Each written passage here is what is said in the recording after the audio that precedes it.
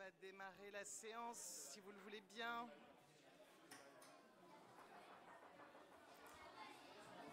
Alors bonsoir à toutes et à tous. Je vais vous demander un petit peu de silence pour qu'on puisse démarrer cette séance. Je vous remercie beaucoup d'être présents et présentes aussi nombreux et nombreuses ce soir. Vous allez le voir, nous avons une occasion particulière euh, qui nous permet d'être aussi nombreux et nombreuses aujourd'hui. Je vous remercie beaucoup euh, d'être là avec nous. Je remercie aussi les gens qui nous suivent sur les réseaux sociaux. Comme pour chaque conseil, nous allons commencer, je l'explique aux enfants qui sont avec nous et qui participent à cette séance. Nous allons d'abord commencer par faire l'appel, puis par euh, voter le procès verbal du conseil d'arrondissement précédent. Et puis ensuite, nous examinerons notre ordre, notre ordre du jour. Euh, vous allez le voir, nous avons un ordre du jour extrêmement chargé ce soir, puisque nous avons des rapports qui concernent notre mairie d'arrondissement. Et puis nous avons aussi des rapports qui concernent la mairie centrale, et tout ça dans un contexte que nous savons tous extrêmement chargé. Euh, je sais qu'un certain nombre de déports ont été communiqués à notre directrice générale des services en amont du conseil d'arrondissement. Si jamais il y a des rapports sur lesquels, chers élus, vous souhaitez vous déporter, n'hésitez pas à nous le signaler. Et avant de pouvoir démarrer la séance, je vais demander à notre Benjamin, Monsieur Lee Ferrero, de bien vouloir procéder à l'appel nominal. Merci. Donc, euh, comme ça a été dit, je vais procéder à l'appel. Abour Micheline. Amsalem Marie-Hélène. Benaroche Pierre. Berlan Yvon. Bonafous Jean-Marc. Brambilla Véronique. Canicave Joël. Casanova Gavino Daniel. Secaldi Pierre. Collard Frédéric. D'Agostino Alexandra. Delage Pauline. Denia Salon Rosette. Elrarbay Didier. Ferreroli présent. Fortin Olivia. Hugon Christophe. Inchiapa Lucas. Jouve Cédric. Juste Christine. Locine Isabelle. Leméry Pierre. Luçon Baptiste. Maranda Bernard. Masson Juliette. Meillac Anne. Ménétrier Olivier. Méry Éric. Méry Xavier. Michaud Marie. Moraine Yves. Mounien Lourdes. Perinquio Elliott. Pernet Ludovic. Pila Catherine. Préciosine Nora. Richard Donna. Roque Sophie. Rupnik Alexandre. Simonetti Christelle. Tessier Nathalie. Vassal Martine. Venton Elisabeth. Vincent Cyprien. Zouagui Serena. Merci. Merci beaucoup. Le quorum étant atteint, ce conseil d'arrondissement peut valablement démarrer et je déclare la séance ouverte. Je vous rappelle que le règlement intérieur qui, qui s'appliquait déjà au conseil d'arrondissement continuait à s'appliquer à l'identique. Et je vais commencer, si vous le voulez bien, par vous demander l'approbation du PV du conseil d'arrondissement précédent. Est-ce qu'il y a parmi nous des demandes de rectification de ce PV Non. Je mets donc aux voix le procès verbal de la séance précédente. Qui vote contre? Qui s'abstient? Le procès verbal est adopté. Je vous remercie beaucoup. Euh, alors vous avez donc dû le remarquer, nous avons aujourd'hui une grande joie, c'est d'accueillir le conseil d'arrondissement des enfants. Ce conseil, il a été mis en place il y a déjà maintenant un an. Il a été euh, piloté par Juliette Masson, que je remercie beaucoup pour son implication sur cette démarche. Et donc notre mairie de secteur est pilote pour pouvoir préparer la mise en place d'un conseil municipal des enfants. On a quatre écoles qui participent sur notre secteur, l'école de la Grotte Roland, du Cours Julien, du Rouet et Rouet-Charlalais. Et aujourd'hui, le conseil est présent, le conseil des enfants est présent pour nous présenter l'aboutissement d'une année de travail. Pendant une année, ces enfants ont réfléchi aux questions qu'ils souhaitaient nous poser et donc ils viennent nous formuler ici leurs demandes. Donc pour pouvoir les accueillir au sein de notre conseil d'arrondissement, Je suspends la séance pour qu'on puisse les écouter. Je les appelle à me rejoindre en tribune et nous allons avoir ensuite l'occasion de leur, euh, de leur répondre.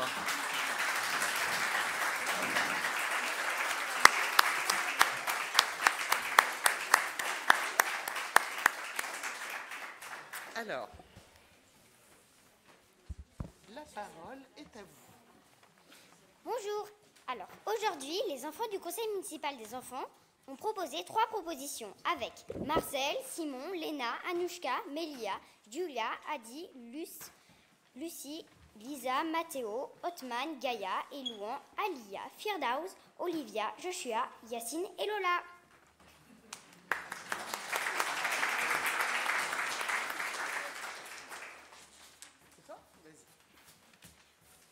Nous, les enfants du conseil d'arrondissement, nous sommes aussi des citoyens et citoyennes. Nous voulons vous présenter une de nos idées qu'on adore. Cette idée, nous, on la tient à cœur. Ce sont les frigos solitaires. Cette idée, c'est pour aider les personnes dans le besoin, des choses indispensables pour la santé. À côté des frigos solitaires, il y aura un petit, il y aura un petit abri où dedans il y aura des habits, des couvertures, des livres, des jouets pour les enfants, un micro-ondes et plein d'autres choses.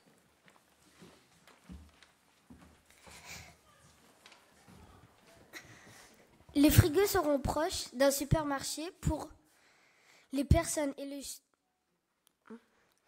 et le supermarché les remplit. Cet abri sera abrité de la pluie et de l'orage. Donc, s'il vous plaît, acceptez-la.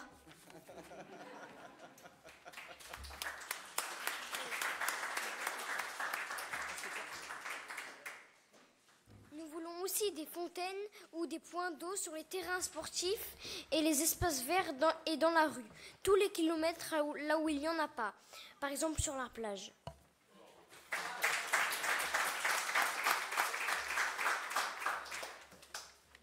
Pour faire boire les SDF et les pauvres et pour qu'ils et pour qu'ils se lavent, pour boire et se rafraîchir parce que l'eau c'est indispensable, pour arroser les plantes et s'amuser.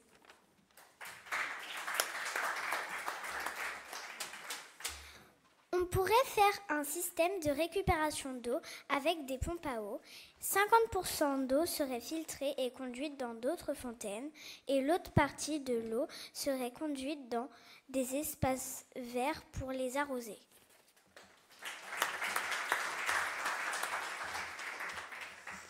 Nous, les enfants du conseil, nous voulons aussi rajouter des espaces végétaux dans la ville et dans les écoles. Nous voulons que plusieurs points d'herbe soient rajoutés dans le 6e et 8e arrondissement de Marseille. Plus d'arbres, des fleurs, des plantes. On, voudrait des espaces verts ludiques dans les écoles.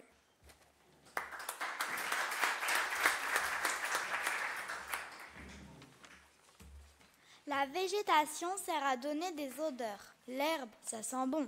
Elle sert de nourriture pour les animaux, nous permet de respirer, d'avoir plus de d'oxygène, de refroidir le climat et les bâtiments.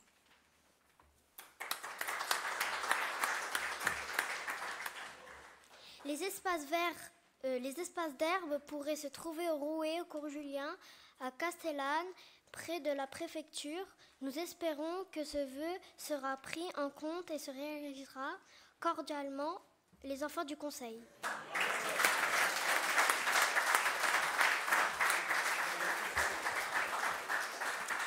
Je crois qu'on peut vraiment, vraiment saluer ce travail, les applaudir bien fort. Merci beaucoup les enfants.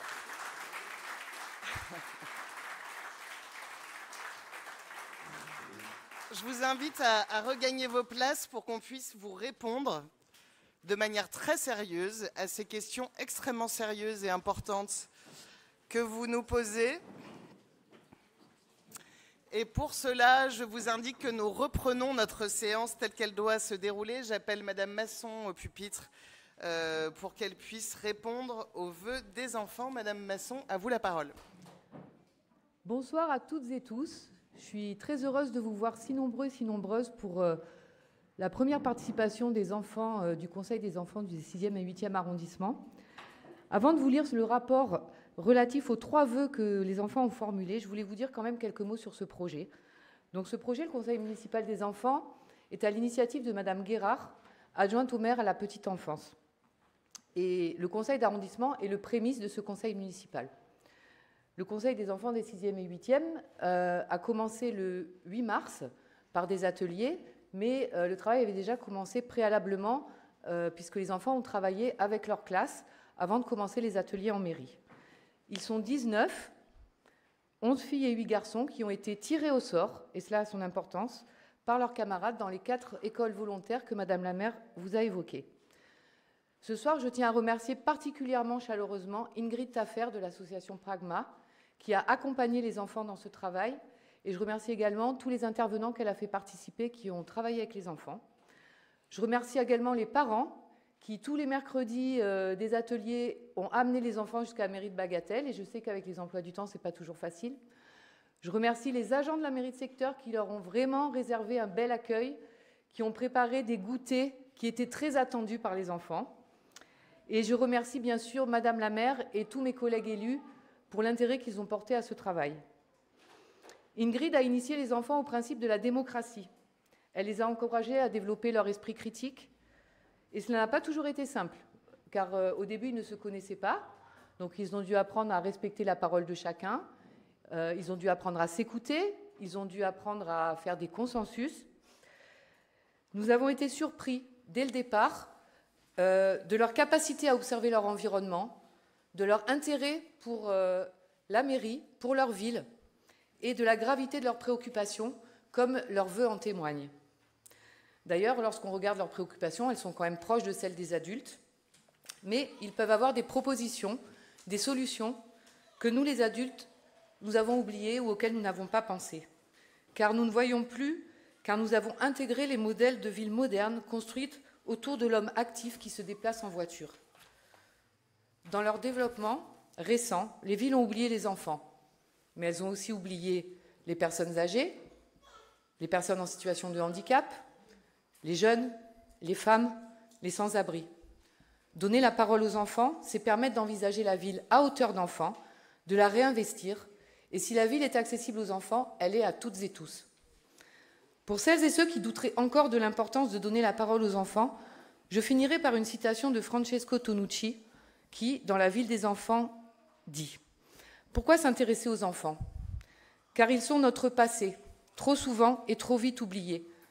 Ils sont notre présent, puisque la majeure partie de nos efforts et de nos sacrifices leur sont destinés. Et ils sont notre futur, la société de demain, celui qui pourra perpétuer ou trahir nos choix et nos attentes. Les enfants, en réponse à vos demandes, alors je ne vous vois pas, mais je vous parle, euh, je vais évoquer avec vous, puisque suite à vos vœux, nous avons discuté avec nos collègues et nous avons déjà quelques réponses à vous apporter. Mais ce n'est pas terminé, nous allons continuer à travailler avec les services de la mairie et avec toutes les institutions euh, pour euh, réaliser vos vœux. Donc pour les frigos solidaires, il en existe déjà un à Marseille, il se situe au cours Julien devant le restaurant Azabia. Nous allons donc contacter l'association qui est une association parisienne pour qu'il nous aide à développer euh, ce projet sur le territoire marseillais. La seule contrainte, c'est qu'il faut qu'il y ait une prise électrique accessible pour pouvoir brancher les frigos. Pour les fontaines, deux seront prochainement installées dans deux petits jardins de notre secteur, au jardin de Valbel et au jardin de Corinthe, et nous étudierons la possibilité d'en installer davantage. Votre demande est quand même très ambitieuse. Une fontaine tous les kilomètres, je ne suis pas sûre qu'on y arrive au premier mandat. Enfin, pour la végétalisation, sachez qu'au Rouet, un petit jardin sera réouvert au public en septembre à l'angle de la rue du Rouet et de la traverse Antignane. Et je sais que bon nombre d'entre vous habitez ce quartier. Il y aura un coin arboré et de l'herbe, comme vous le souhaitez. Au cours Julien, une vingtaine d'arbres ont été déjà replantés au printemps. Il y en aura d'autres à la rentrée. Lorsque les espaces de jeu seront réhabilités, on étudiera la possibilité de mettre davantage de végétation.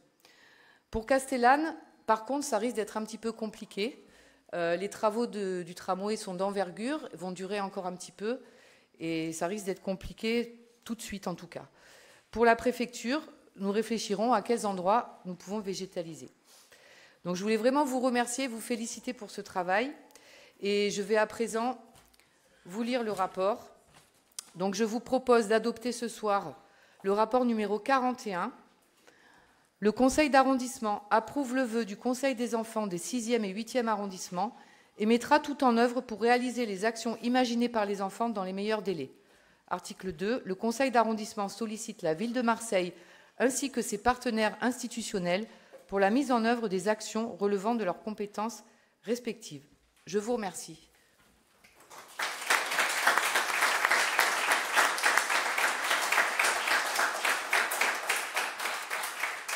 Merci, merci beaucoup Madame Basson. Donc les enfants, vous avez compris, ce qui va se passer maintenant, c'est que nous, le conseil d'arrondissement des adultes, on va voter pour pouvoir approuver la réalisation de vos vœux. Est-ce que vous êtes prêts pour ce vote? Ouais. Avant de faire ça, je voudrais savoir si jamais il y a des demandes d'intervention. Oui, Monsieur Méry, on vous écoute. On va vous passer un micro. Donc peut-être qu'on va nous poser des questions sur vos vœux. On va voir. je vais m'adresser à vous. Oui, ça marche. Merci hein, pour vos propositions qui sont très bien, très, très sérieuses et qui, qui, comment dire, qui éveillent en nous en fait des véritables soucis. Alors moi j'ai retenu une chose, surtout il fait très chaud, c'est les douches pour les SDF.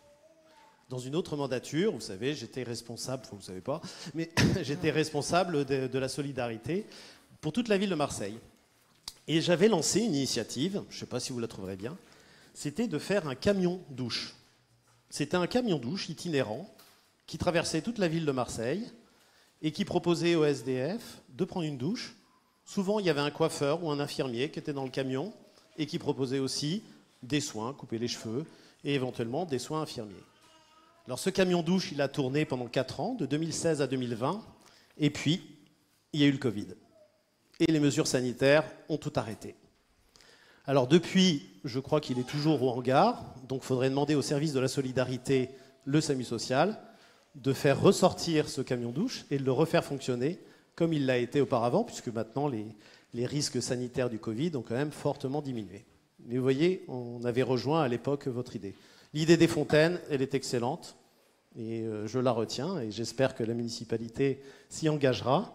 Ensuite, euh, le frigo solidaire, c'est une belle idée. Il y a des restaurants solidaires, le restaurant Noga, la Plaine, il y a pas mal de restaurants comme ça. Mais c'est vrai qu'un frigo, ça peut être bien parce que surtout, vu les chaleurs, ça serait quand même agréable de pouvoir manger au frais. Le problème, c'est comment on va vérifier que la DLC n'est pas dépassée, c'est-à-dire que les produits ne sont pas périmés. Enfin, il y a toute une infrastructure à mettre en place derrière euh, pour vérifier. En tous les cas, je vous remercie parce que vous êtes vraiment préoccupés euh, des gens les plus en difficulté, qui n'ont rien et vous avez voulu leur apporter des choses, et félicitations.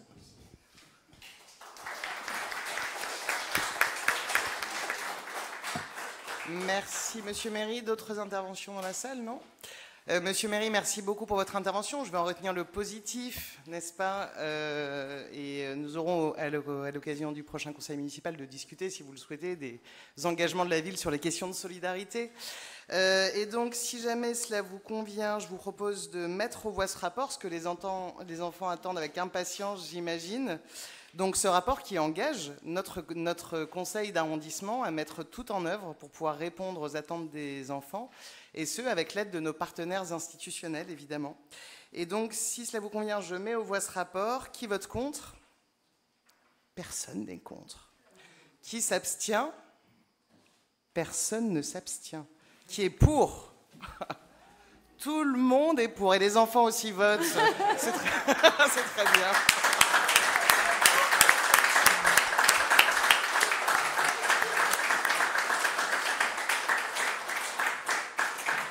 Eh bien, écoutez les enfants, vos propositions sont donc retenues. C'est un grand moment. Je suis vraiment extrêmement heureuse de votre participation. On ne vous l'a pas dit, mais au départ, les, vœux des enfants étaient au nombre de 13. Et donc, ils ont réussi à, travailler ensemble pour arriver à 3 pour en tout cas cette séance. Merci beaucoup. Je pense que les parents, vous pouvez être fiers de vos enfants parce qu'ils ont bien travaillé et ils apportent à notre action publique leur regard. Et ça, c'est extrêmement important. Et du coup, les enfants et les parents, si vous le souhaitez, vous pouvez bien sûr rester avec nous pour toute la séance du conseil d'arrondissement. Et puis, vous pouvez aussi, si vous préférez, rentrer chez vous parce que vous avez bien travaillé. Et donc, vous pouvez aller vous reposer. C'est comme vous voulez. Bravo encore.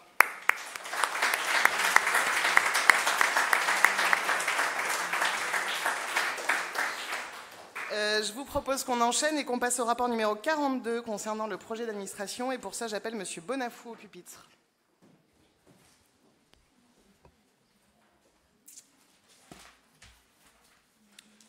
Merci Madame la maire, Mesdames et Messieurs, mes chers collègues.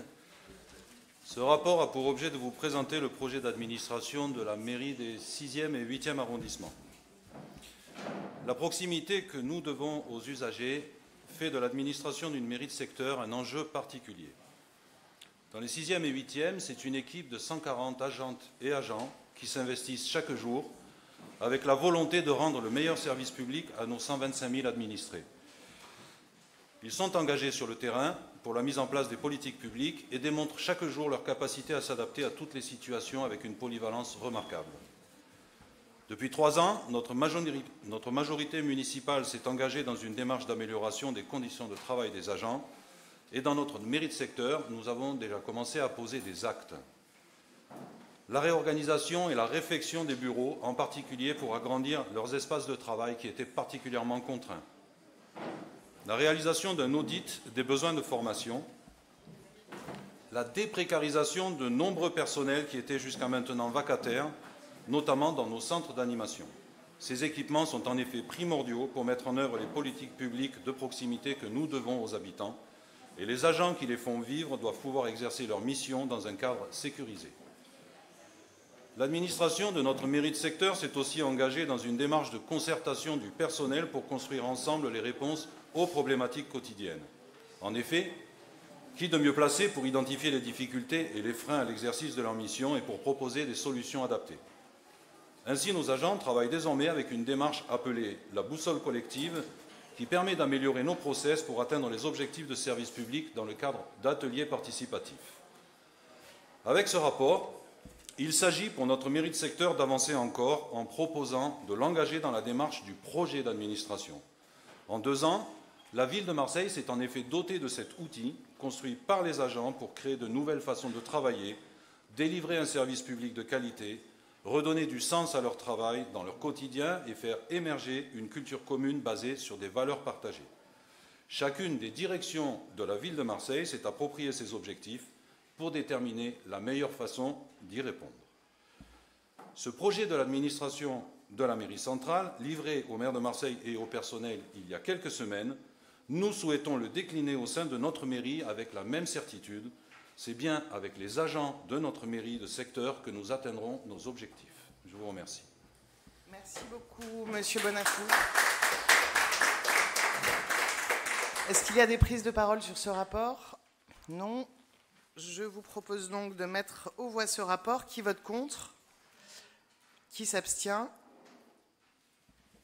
Le rapport est adopté. Je vous remercie beaucoup. Je vous propose que nous passions au rapport numéro 43 concernant la gestion de la relation citoyen. Et Monsieur Bonafou, je vous repasse la parole. Merci Madame la maire.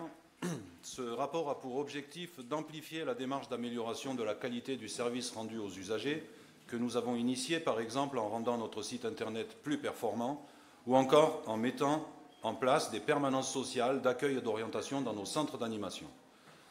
Pour cela, nous ambitionnons de mettre en place la gestion de la relation citoyenne. L'objectif est de lancer les actions structurantes qui permettront d'améliorer significativement le renseignement et l'accueil téléphonique et physique sur tous les sites et équipements de la mairie de secteur, les démarches et renseignements via le site Internet et l'accès facilité aux informations les plus complètes dont nos usagers ont besoin.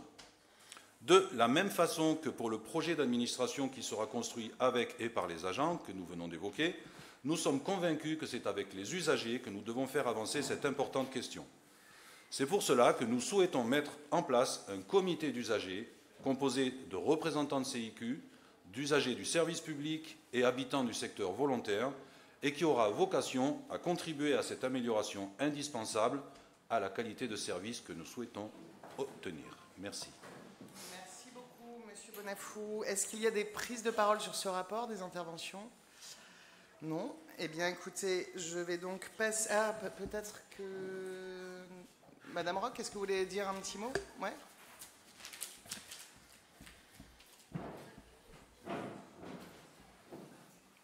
On vous apporte le micro. Bien sûr. Oui, la, gestion de la relation citoyen répond, répond à l'objectif de simplifier la vie des Marseillaises et des Marseillais et de réduire le temps de réponse de la collectivité aux sollicitations de nos concitoyennes et concitoyens. Mais la GRC doit aussi prendre en compte les attentes et les réactions des Marseillaises et des Marseillais en intégrant leurs remarques. Et pour cela, il faut à la fois que la collectivité fasse un meilleur usage du numérique, et c'est déjà le cas avec les chantiers lancés depuis 2020 par Christophe Hugon, mais aussi de l'accueil physique et téléphonique, et qu'elle améliore et modernise ses services. Cette démarche va concerner de manière transversale plusieurs pôles de la collectivité, site internet, Supermino, projet de compte citoyen unique, le courrier, le module de prise de rendez-vous en bureau municipal de proximité, les demandes d'urbanisme et tant d'autres services qui accueillent du public. La GRC prendra en considération les contraintes personnelles, capacité d'accès au numérique, handicap, freins psychologiques, les besoins ou attentes, envie de nouveautés, d'adaptation aux évolutions des modes de vie des services proposés, mais aussi le quotidien de nos concitoyens et concitoyennes, comme celui des agents et des agentes à leur contact. C'est une démarche qui a un enjeu central de simplification de la vie des Marseillaises et des Marseillais, en modernisant, mais aussi en favorisant les retours d'expérience des usagers du service public. L'idée, c'est de créer de la proximité, des liens qui seront amenés à vivre et évoluer. C'est une démarche qui fait sens et qui place les Marseillaises et les Marseillais au cœur du service public que nous voulons, plus proche et plus juste. Merci à la mairie du 6-8 d'être précurseuse et pilote en la matière.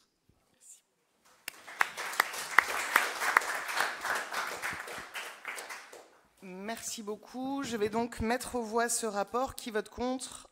Qui s'abstient? Le rapport est adopté. Merci beaucoup. Euh, à notre ordre du jour aujourd'hui, nous avons un deuxième événement particulier. Après la participation du Conseil des enfants nous allons accueillir maintenant les représentants du comité d'initiative euh, et de consultation d'arrondissement. Donc vous le savez, nous avons deux SICA, un pour le sixième et un pour le huitième. Et aujourd'hui, nous accueillons les représentants de notre SICA du huitième. Je vous profite de, de, cette intervention de leur part pour rappeler que ce SICA est évidemment ouvert à toutes les associations qui souhaitent vouloir y participer et que pour cela, les informations sont en ligne sur notre site internet de la mairie de secteur. Ces SICA ont donc la possibilité réglementaire d'interpeller notre conseil d'arrondissement et c'est ce qui va se passer ce soir. Et j'appelle donc pour cela Stéphane Copé au pupitre.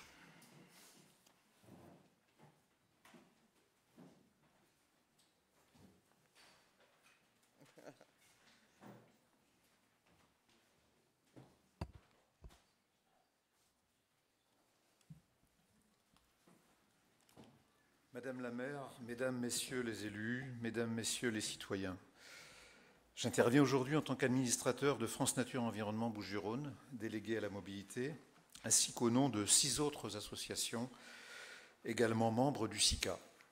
Le huitième, donc le CIQ de Samena, le CIQ de la Madrague de Montredon, l'association citoyenne et citoyen des 6-8 pour une ville plus juste, plus verte et plus démocratique, l'association Pointe Rouge Défense Littorale, le collectif Vélo en Ville et le collectif Piéton à Marseille.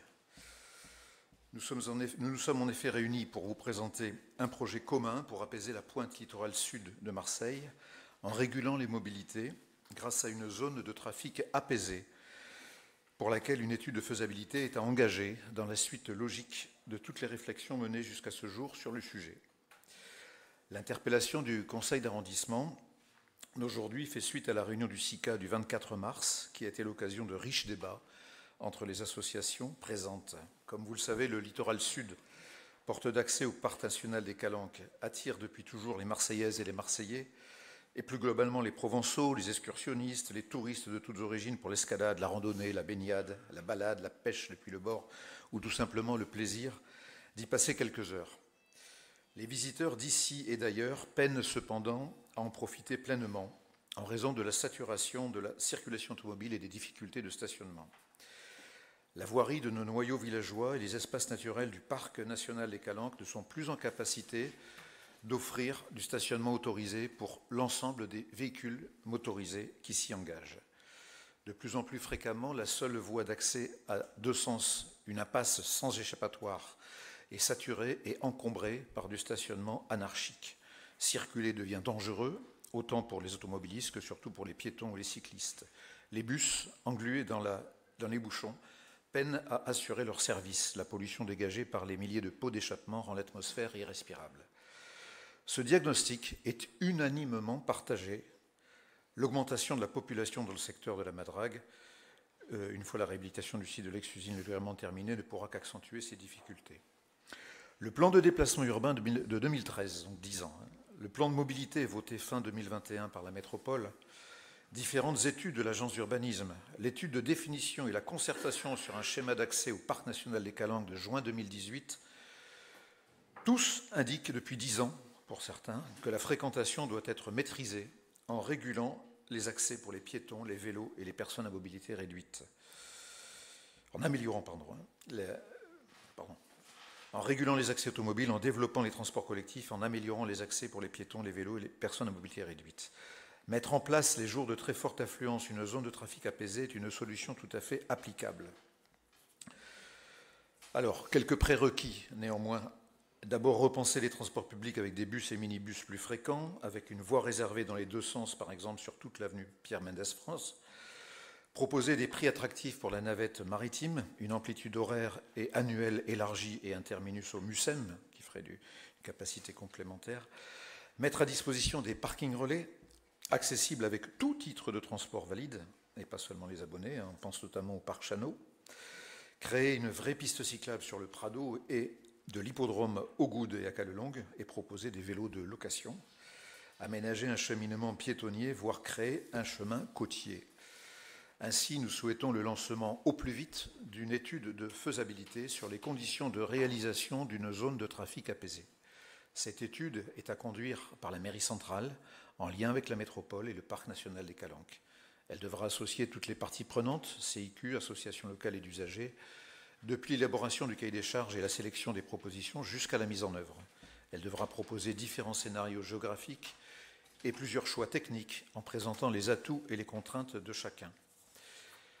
M'a demandé de faire court, hein. je vais couper un petit peu et je vais vous simplement vous faire référence à une expérience très intéressante qui est celle qui a été mise en place depuis l'année dernière sur la plage du Jaille, donc à Châteauneuf-les-Martigues si vous la connaissez, plage tout à fait intéressante. Euh, donc, ben, ça, reprend un petit peu ce qui est en place là-bas. Elle n'est mise en place que lorsque le quartier va être paralysé, en l'occurrence les week-ends de beau temps et en saison estivale. L'accès reste ouvert librement une grande partie de l'année. Il n'est pas proposé de barrières, de gardiens. Alors là-bas, là ce n'est pas tout à fait le cas. Mais l'obligation de disposer pendant les périodes concernées d'une autorisation d'accès, c'est la lecture automatisée de la plaque d'immatriculation qui provoquera l'émission d'un procès verbal en cas d'infraction. Les véhicules motorisés des ayants ne sont pas verbalisés, c'est-à-dire qu'il y a des droit, donc, mais leur nombre est limité, comme aujourd'hui à Calelongue, ou par Cabanon par exemple, il y a trois laissés-passer maximum pour la même habitation. Et sous cette réserve, les amis, les parents, les réparateurs, les livreurs, les professionnels de santé pourront quand même accéder à la zone les jours concernés. De même, les restaurateurs pourront faire enregistrer leurs clients. Sans attendre le lancement de l'étude, nous proposons également que des expérimentations soient menées afin de sensibiliser au plus vite les usagers au problème et à la nécessité de mettre en œuvre des solutions adaptées. Par exemple, dès les premiers jours de cette année, alors on avait prévu de présenter ça il y a déjà quelques mois, donc les, beaux jours, on y est très largement. Euh, mettre en place un système de comptage des véhicules et se servir des panneaux lumineux à message variable pour informer du nombre de véhicules présents dans la zone et de l'atteinte du seuil d'alerte ou de congestion. Deuxième euh, idée, organiser un dimanche sans voiture ni moto ou en limitant leur nombre. Faciliter l'accès au littoral sud pour tous les Marseillaises et tous les Marseillais résidents ou visiteurs et repenser une mobilité apaisée. Tels sont les objectifs de notre proposition. Il s'agit d'offrir de meilleures conditions de vie et de visite en limitant la circulation motorisée afin que la zone ne soit pas saturée, en favorisant les mobilités actives et douces et en développant les transports en commun. La phrase de fin. Ainsi, grâce à cette zone de trafic apaisée, visiteurs d'un jour et résidents de toujours pourront bénéficier de meilleures conditions pour apprécier ce site si cher à toutes et à tous. Nous espérons que ce projet d'apaisement du littoral sud pour tous les habitants et visiteurs de Marseille aura su vous convaincre Nous souhaitons le lancement rapide de cette étude de faisabilité ainsi que des expérimentations à court terme. C'est pourquoi nous souhaitons également que le conseil d'arrondissement du 6-8 se saisisse de ce projet pour formuler un vœu lors d'un prochain conseil municipal. Je vous remercie de votre attention.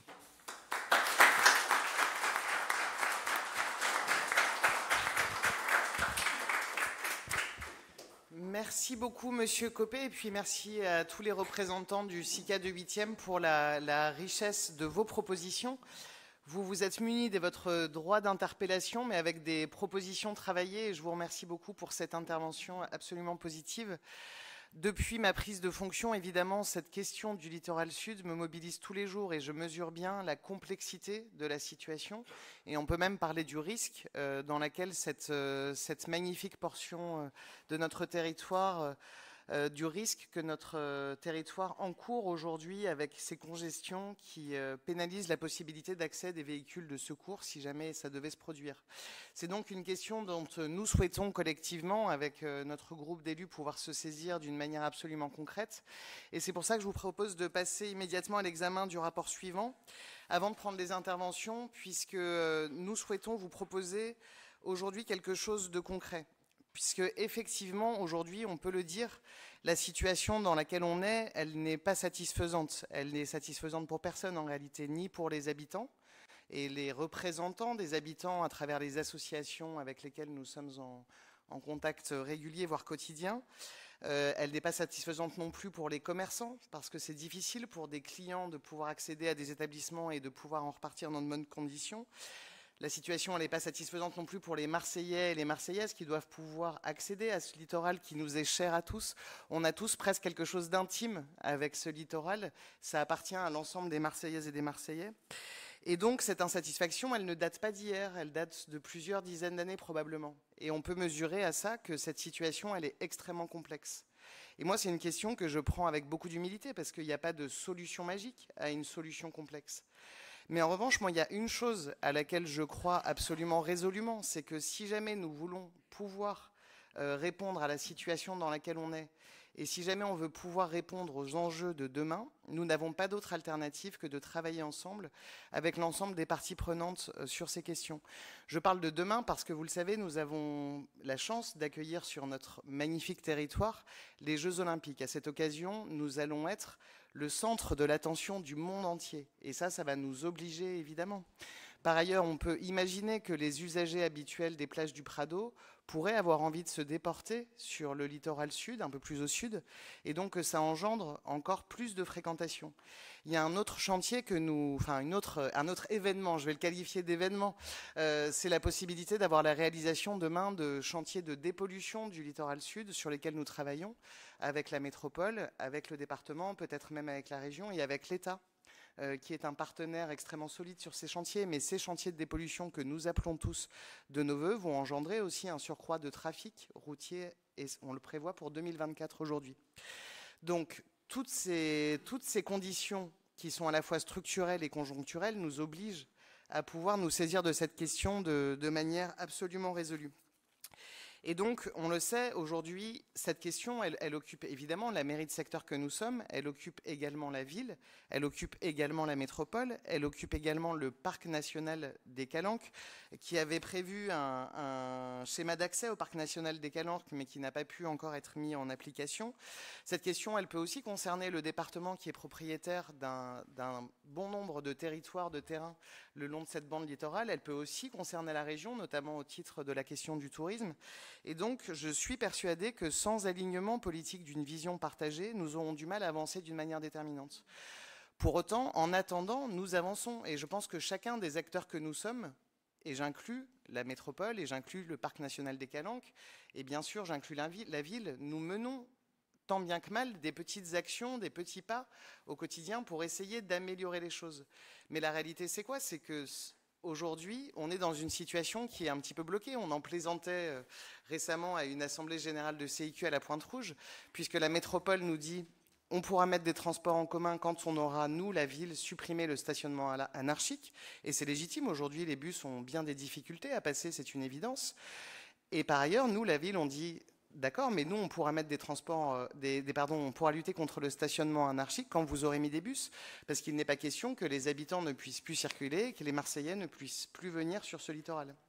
Et donc, je pense que si jamais nous, nous pouvons avancer ensemble de manière résolue sur cette question, et encore une fois, avec toute l'humilité qui est la mienne et sans présager des solutions qui pourraient être données, il s'agit aujourd'hui qu'on puisse se mettre autour de la table et travailler tous ensemble. Vous parliez d'études, Monsieur Coppet. On sait que des études existent depuis déjà des dizaines d'années. Et je crois me souvenir aussi que dès décembre 2020, notre mairie, on avait présenté une synthèse à, beaucoup d'habitants, de représentants d'associations qui souhaitaient pouvoir en discuter. Et donc, moi, ce que je vous propose aujourd'hui, c'est que nous puissions adopter un vœu qui consisterait à proposer la mise en place d'un comité de pilotage qui serait co-présidé par la ville de Marseille et par la métropole, parce que c'est ensemble qu'on pourra trouver ces solutions. Un comité de pilotage qui aura pour mission de définir ensemble la vision collective qui peut être la nôtre pour demain et de l'inscrire ensuite dans une réalité. Donc voilà la proposition, la mise en place d'un vœu à la mairie de Marseille et à la métropole pour la mise en place de ce copil coprésidé, étant entendu que ce comité de pilotage réunira ensuite l'ensemble des institutions qui devraient être autour de la table. Est-ce que vous avez des prises de parole sur cette proposition? Oui, Madame Pila. Merci, Merci Madame la maire. La loi 3DS a rebattu les cartes.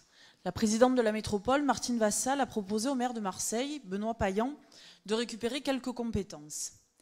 Après euh, des atermoiements et à quelques heures de la date limite pour la réponse à donner, le maire de Marseille a fait savoir qu'il ne souhaitait pas récupérer ses compétences. Martine Vassal lui a alors proposé de nommer deux adjoints pour gérer les compétences de proximité que sont la voirie et la propreté. Madame Juste, élue de notre secteur, a depuis janvier en charge la question de la propreté. Madame Prigent, quant à elle, en charge la question de la voirie. Quel rapport me direz-vous avec le sujet proposé aujourd'hui? Madame la maire, vous nous soumettez un vœu à l'approbation des élus euh, des 6e et 8e arrondissements et vous souhaitez apaiser le littoral sud. C'est un vaste chantier, c'est un vœu pieux. Vous proposez la mise en place d'un comité de pilotage pour traiter de cette problématique et vous appelez au changement des habitudes en matière de stationnement, en matière de circulation, en matière de sécurité et en matière de médiation. Les compétences exposées sont toutes de votre responsabilité, la vôtre et celle de votre majorité. Le stationnement, c'est M. Oanessian. La circulation, c'est M. Oanessian. La sécurité, c'est aussi M. Oanessian. Et la médiation, c'est M. Edadi. Tout cela relevant aussi de la compétence voirie, dont la charge depuis six mois appartient à Mme Prigent. Donc elle passe la commande politique et la métropole, elle, exécute. Donc plus qu'un vœu, je pense qu'il serait préférable de mettre tous les adjoints autour de la table et de discuter entre vous de ce qui peut se faire, de qui peut faire quoi, comment et à quelle échéance. Je pensais votre vœu parti d'une belle intention, nous en avions euh, discuté ensemble, mais euh, à la lecture du rapport, hormis un coup de com' pour démontrer que vous êtes dans l'action et euh, pleinement dans l'action, je ne vois pas d'autre chose. Finalement, c'est ni plus ni moins qu'une réunion d'adjoints du printemps marseillais que vous proposez. Seule la question de la mobilité et du plein ressort de la métropole. Donc nul besoin pour moi de m'asseoir autour de la table. Je peux maintenant vous donner des garanties. Je m'y engage. Voilà. Vous souhaitez plus de vélos, vous souhaitez de nouvelles stations.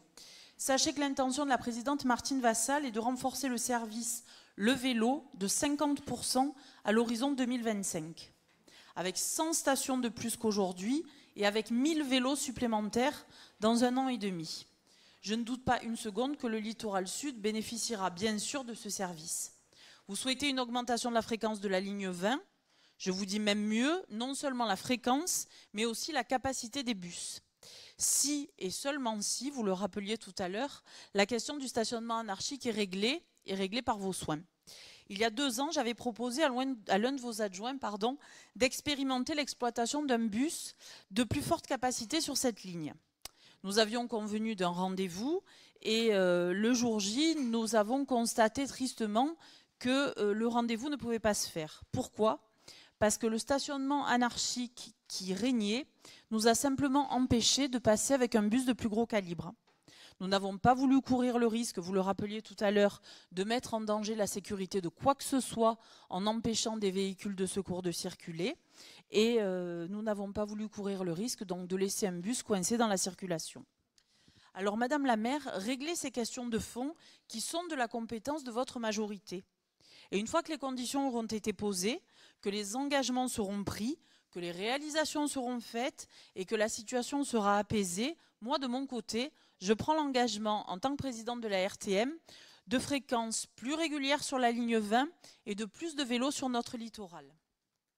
Nous nous abstiendrons bien évidemment sur ce rapport à la lecture de ce que nous avons pu en lire et, contrairement finalement à la discussion euh, apaisée que nous avons pu avoir toutes les deux. Donc nous formons un vœu, nous, de notre côté. Ce vœu, c'est à quand un comité de pilotage sur le boulevard urbain sud. Un sujet qui divise, mais un vrai sujet. Et quant à la ZTL, j'ai bien entendu donc les propos euh, de M. Copé et il m'est venu une idée. Pourquoi pas une consultation citoyenne qui serait destinée aux seuls habitants du littoral sud? Ils sont les premiers concernés, les premiers impactés, et leur voix doit être prépondérante. Ils ont droit de respirer un air pur, bien évidemment, mais ils ont aussi le droit, sans restriction, d'inviter chez eux la famille et les amis. Euh, je pense que personne ne peut parler à leur place. Il serait peut-être intéressant d'envisager une, consultation pardon, citoyenne qui euh, leur permettrait de s'exprimer et euh, de dire finalement quelle est leur attente en matière de ZTL, qui est un sujet qui peut diviser. Voilà, Madame la maire, et merci de votre écoute. Merci beaucoup, Madame Pila. pour votre intervention. En première réponse, je suis assez surprise que vous employiez le terme de vœu pieux concernant l'action publique. Euh, je suis assez étonnée que vous puissiez partir du principe que rien ne soit possible finalement par la discussion et le travail en commun. Moi, je suis désolée, je considère que l'action publique a un sens. Je considère que être engagé en politique comme nous le sommes, c'est de penser que demain peut être meilleur qu'aujourd'hui. Et donc, je continuerai pour ma part à formuler des vœux que vous pourrez considérer pieux, mais à vouloir avancer sur ces questions. Vous nous renvoyez au fait que l'ensemble des compétences que vous mentionnez euh, seraient exercées par la ville de Marseille. Moi, je crois, pardonnez-moi, que le fait de pouvoir se mettre autour de la table pour pouvoir discuter d'une manière globale de la zone et bien sûr du boulevard urbain sud et pouvoir avoir une vision globale de la manière dont on gère le trafic dans cette zone a un sens. Le fait que nous puissions discuter des choses a un sens. Donc si jamais vous pensez de votre côté que ce n'est pas souhaitable et pas nécessaire.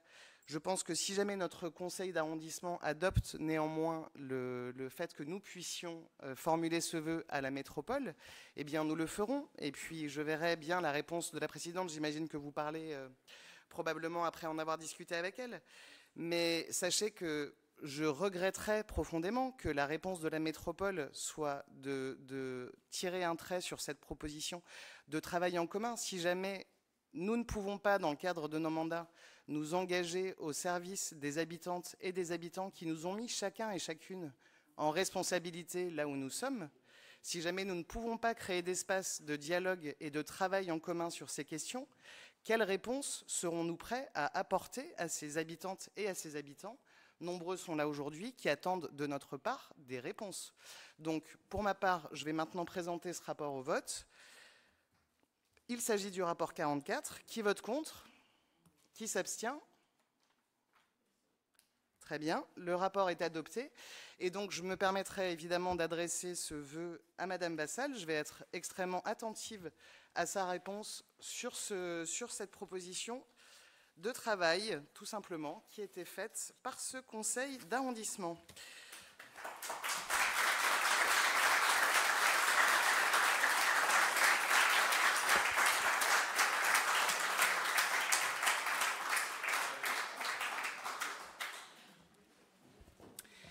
Je passe donc à l'examen des rapports proposés par la mairie centrale. Le premier, je le rapporte, il s'agit de des titres d'occupation du parc balnéaire du Prado. Il a reçu un avis favorable de la commission. Y a-t-il des prises de parole sur ce rapport? Eh bien, je le mets aux voix. Qui vote contre? Qui s'abstient? Le rapport est adopté. J'appelle pour euh, le rapport numéro 2, Madame Masson.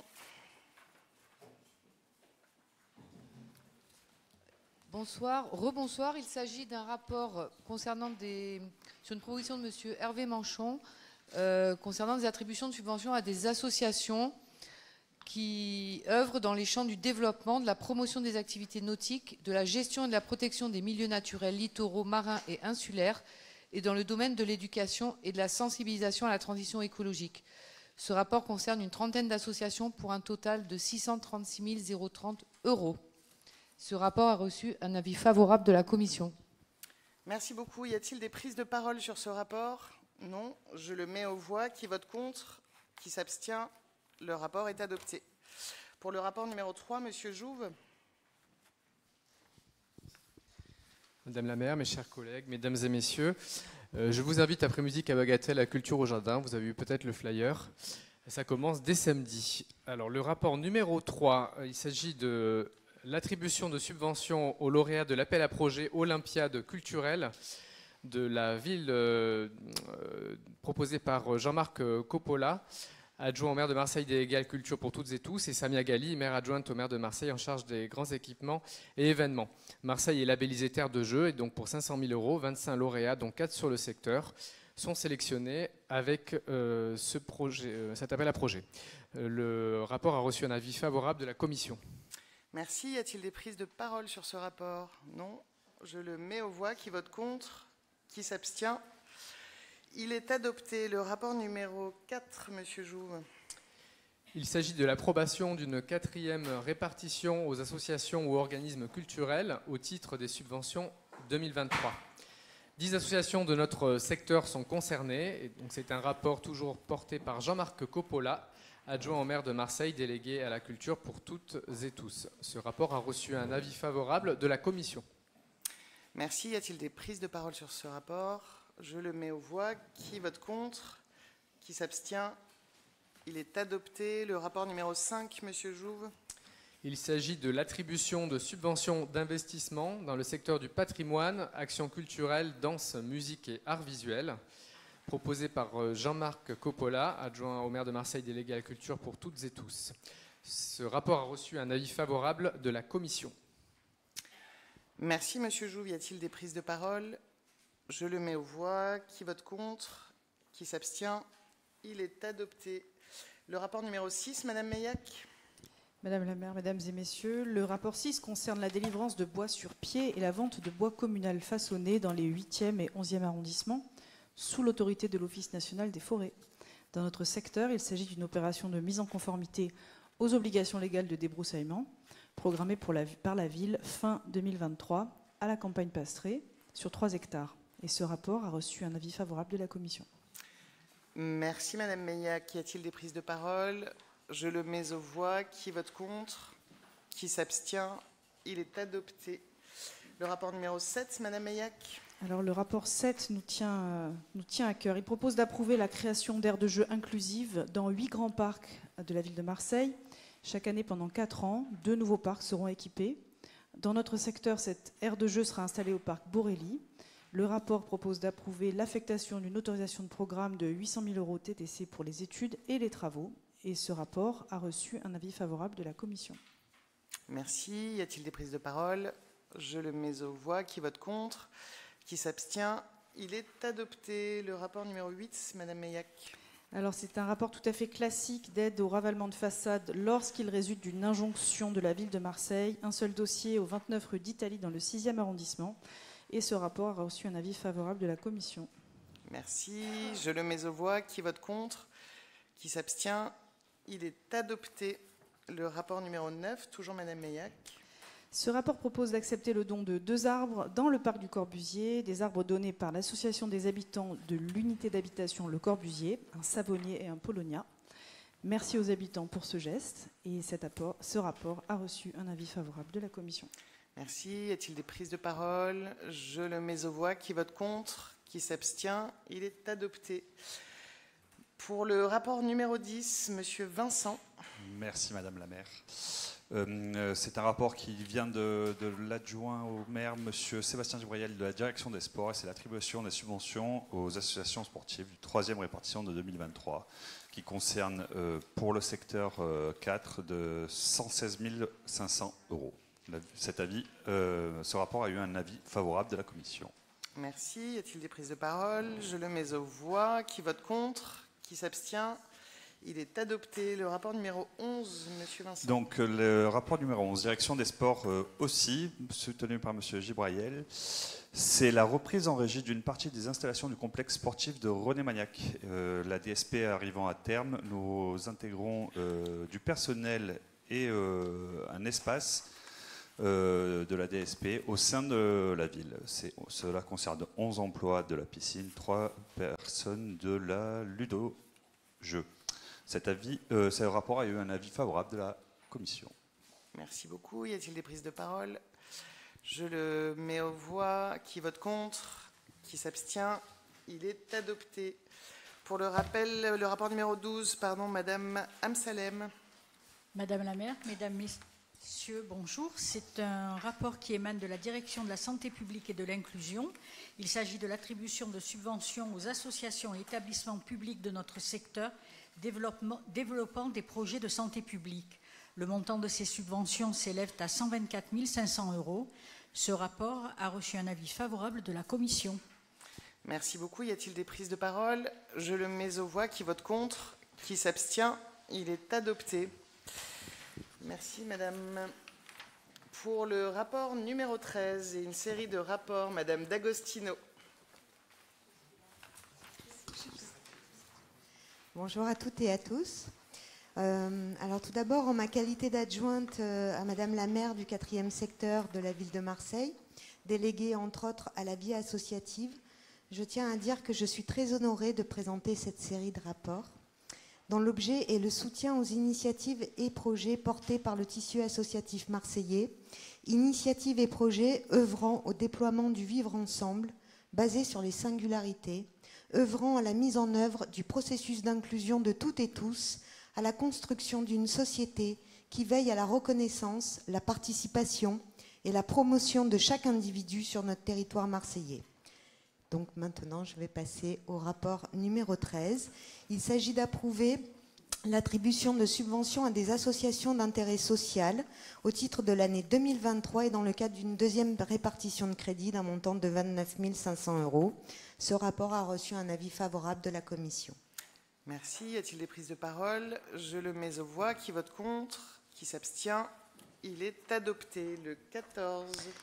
Il s'agit d'approuver une attribution de subventions d'équipement à diverses associations au titre de l'année 2023 et dans le cadre d'une deuxième répartition de crédit d'un montant de 63 280 euros. Et ce rapport a reçu un avis favorable de la Commission. Merci. Des prises de parole Je le mets aux voix. Qui vote contre? Qui s'abstient? Il est adopté. Le 15, Madame D'Agostino. Il s'agit d'approuver le, versement de subventions complémentaires aux centres sociaux d'un montant de 466 000 euros. Et ce rapport a reçu un avis favorable de la Commission. À valoir, pardon, sur le budget 2023. Désolé. Merci. Des prises de parole Je le mets aux voix. Qui vote contre? Qui s'abstient? Il est adopté. Le rapport numéro 16. Il s'agit d'approuver une attribution de subventions à des associations d'animation urbaine au titre de l'année 2023 et dans le cadre d'une première répartition de crédit d'un montant de 67 500 euros. Et ce rapport a reçu un avis favorable de la Commission. Merci. Je le mets aux voix. Qui vote contre? Qui s'abstient? Il est adopté. Le rapport numéro 17. Il s'agit d'approuver une attribution de subventions à des associations œuvrant en faveur des jeunes ou portant des initiatives dirigées par des jeunes au titre de l'année 2023 et dans le cadre d'une première répartition de crédit d'un montant de 61 500 euros. Ce rapport a reçu un avis favorable de la Commission. Merci. Je le mets aux voix. Qui vote contre? Qui s'abstient? Il est adopté. Le rapport numéro 18. Il s'agit d'approuver une attribution de subventions à des associations agissant en faveur des droits des femmes au titre de l'année 2023 et dans le cadre d'une première répartition de crédit d'un montant de 202 600 euros. Ce rapport a reçu un avis favorable de la Commission. Merci. Je le mets aux voix. Qui vote contre? Qui s'abstient? Il est adopté. Le rapport numéro 19. Il s'agit d'approuver les nouvelles grilles tarifaires relatives aux activités proposées dans les maisons pour tous. Nouvelles grilles devant entrer en vigueur le 1er septembre 2023. Ce rapport a reçu un avis favorable de la Commission. Merci. Je le mets aux voix. Qui vote contre? Qui s'abstient? Il est adopté. Le rapport numéro 19. Euh, le 19 Le 19 ou le 20 Le 20. Non, c'est le 20. On s'y perd. Allez-y, Ouais. le 20. Pardon. On s'y perd. Alors, il s'agit d'approuver une attribution de subventions à des associations œuvrant dans le domaine de l'éducation populaire. Donc, au titre de l'année 2023 et dans le cadre d'une première répartition des crédits d'un montant de 15 000 euros. Ce rapport a reçu un avis favorable de la Commission. Merci. Je le mets aux voix. Qui vote contre? Qui s'abstient? Il est adopté. Le 21. L'objet des trois suivants rapports est, concerne le soutien aux structures agissant dans le cadre du contrat de ville.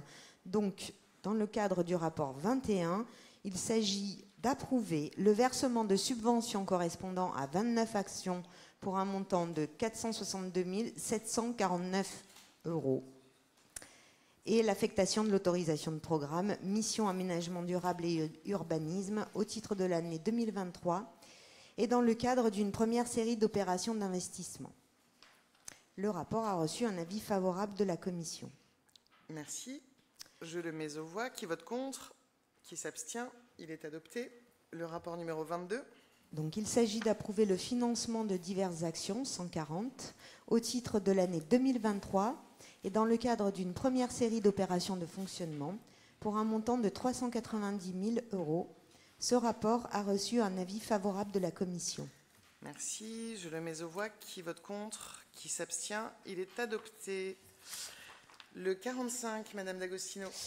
Il s'agit d'approuver le financement d'actions estivales à la suite de l'appel à projet S'évader dans les quartiers au titre du budget 2023 en, en fonctionnement pardon, pour un montant de 100 000 euros.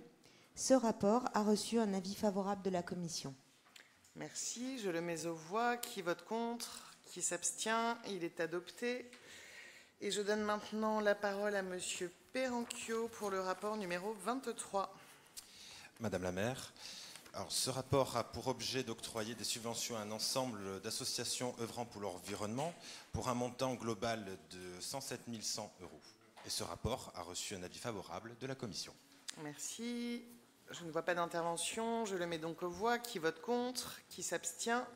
Il est adopté. Le rapport numéro 24, toujours Monsieur Perranquio. Donc, ce rapport a, a pour objet également euh, d'attribuer des, des subventions à un ensemble d'associations œuvrant pour l'environnement, mais cette fois-ci dans le cadre du contrat de B de transition 2023-2024 pour un montant euh, global de 72 500 euros. Merci. Je ne vois pas d'intervention. Je le mets aux voix. Qui vote contre Qui s'abstient Il est adopté. Et la parole est à Madame Abour pour le rapport numéro 25. Bonsoir à toutes et à toutes. Euh, ce rapport concerne l'attribution de subventions à des associations pour des projets proposés par des enfants portant une ambition citoyenne. Euh, dans notre secteur, deux associations sont concernées, le Centre social du cours Julien et le Centre social Mère et Colline, chacune pour 1462 euros, sur un total de 50 000 euros. Ce rapport a reçu un avis favorable de la Commission. Merci Madame. Je ne vois pas d'intervention. Je le mets aux voix. Qui vote contre? Qui s'abstient? Il est adopté. Monsieur Luçon pour le numéro 26. Rapport numéro 26 concerne l'approbation d'une convention de cofinancement avec la Banque des Territoires pour la réalisation d'une étude relative à la création d'une foncière de redynamisation commerciale et tertiaire. Un avis favorable de la Commission. Merci. Je ne vois pas d'intervention. Je le mets aux voix. Qui vote contre? Qui s'abstient? Il est adopté. Madame Michaud pour le numéro 27. Madame la maire, euh, mesdames et messieurs les élus, ce rapport nous est proposé de manière conjointe par Joël Ganica, adjoint au maire, notamment en charge des finances, et par Patrick Amico, en charge de la politique du logement et de la lutte contre l'habitat indigne.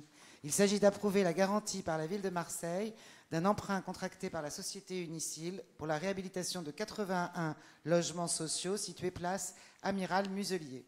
La ville de Marseille garantit 50% du montant total de l'emprunt qui s'élève à 2 868 054 euros. L'autre moitié de l'emprunt est garantie par la métropole. Ce rapport a reçu un avis favorable de la Commission.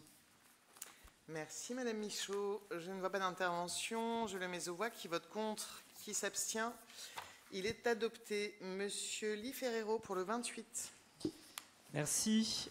Alors, ce rapport nous est proposé donc par Monsieur Théo Chaland-Névoré, donc de la mairie centrale, euh, concernant donc des demandes de subventions concernant euh, des associations œuvrant pour la lutte contre les discriminations, pour un montant total euh, de 78 500 euros sur notre secteur. Cela concerne une seule association qui est donc située au 17 rue de Madagascar dans le 6e, qui s'appelle Badam, qui organise des tournois de badminton euh, dans une ambiance LGBT friendly et que nous, qui nous demande une subvention de 500 euros.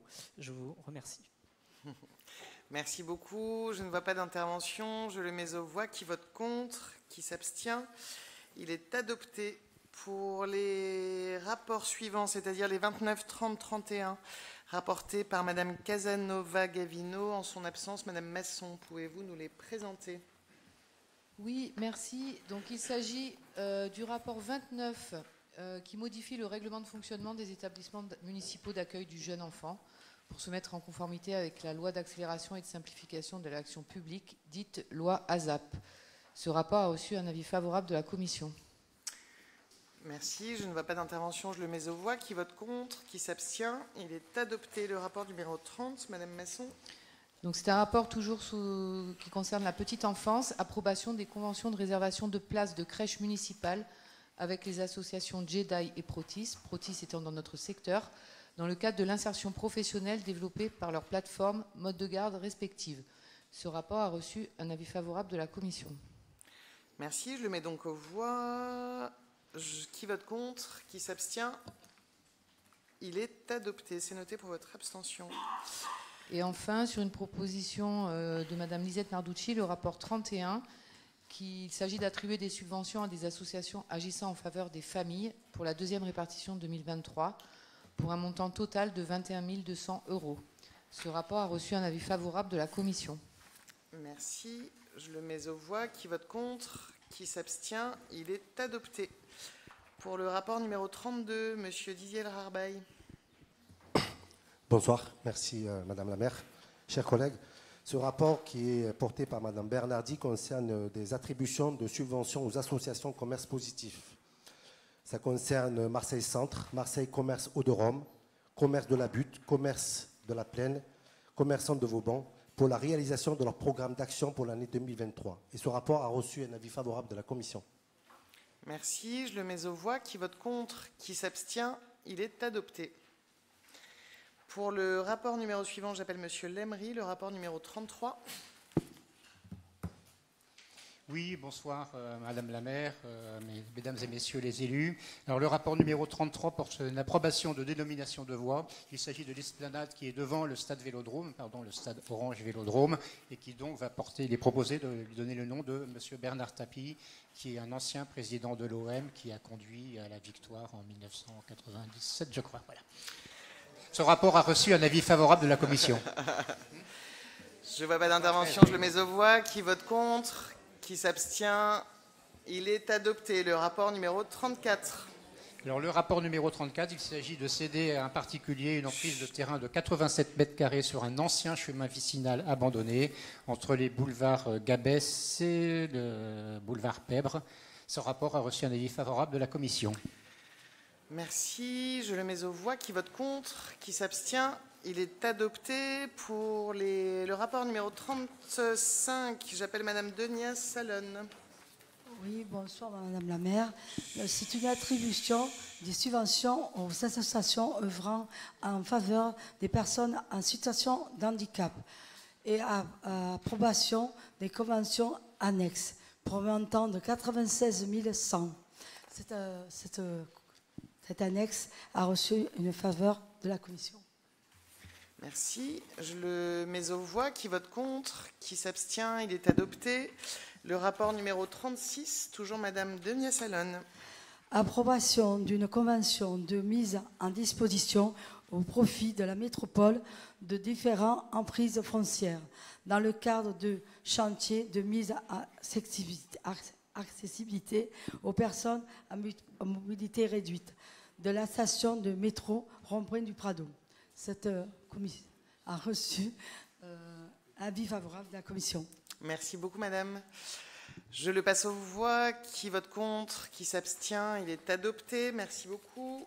Je passe la parole maintenant à Monsieur Mounien pour quatre rapports. On commence par le 37. ce rapport il nous est adressé par Mme euh, Madame Garino, adjointe en charge des affaires sociales, de la solidarité, de la lutte contre la pauvreté et de l'égalité des droits. Et il nous est également adressé par Madame euh, Sophie Guérard, en charge de la place de l'enfant dans la ville et il concerne l'attribution de subventions des associations dans le cadre de la Convention d'appui à la lutte contre la pauvreté et d'accès à l'emploi. Volet petite avance pour un montant de 300 000 euros. Dans notre secteur, euh, l'association Protis est concernée pour un montant de 25 000 euros. Euh, ce rapport a reçu un avis favorable de la Commission. Merci. Je ne vois pas d'intervention, je le mets aux voix. Qui vote contre? Qui s'abstient? Il est adopté. Le rapport numéro 38, Monsieur Mounien ce rapport nous est également adressé par Mme Garino. Il concerne l'attribution de subventions à des associations de solidarité, de lutte contre l'exclusion et d'intégration. Et euh, donc pour un montant de 243 500 euros. Et pour notre secteur, deux associations sont concernées pour un montant de 7 000 euros. Ce rapport a eu un avis favorable de la Commission. Merci. Je ne vois pas d'intervention, je le mets aux voix. Qui vote contre? Qui s'abstient? Il est adopté. Le rapport numéro 39, Monsieur Mounien. Donc ce rapport, encore une fois, adressé par Mme Garino, et il concerne également des attributions de subventions des associations dans le cadre de la CalPAE que je vous ai présenté avant, donc pour un montant toujours de 300 000 euros.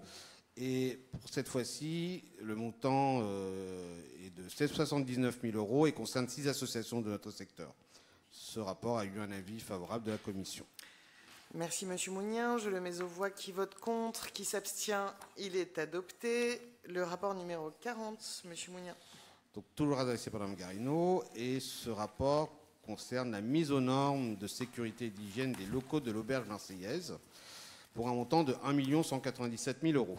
Et ce rapport a eu un avis favorable de la Commission. Merci beaucoup. Je ne vois pas d'intervention. Je le mets aux voix. Qui vote contre Qui s'abstient Il est adopté. Notre ordre du jour est donc épuisé. Avant de lever la séance, je vous souhaite évidemment à toutes et tous un merveilleux été. Je voudrais saluer l'engagement de toute l'équipe, de nos agents qui, euh, comme elle l'a déjà commencé, va continuer à être présent sur le terrain pendant tout l'été pour que l'ensemble de nos habitants et de nos habitantes des 6e et des 8e arrondissements puissent passer le meilleur été possible. Je vous donne rendez-vous à la rentrée pour la suite et je vous souhaite à tous et toutes une excellente soirée.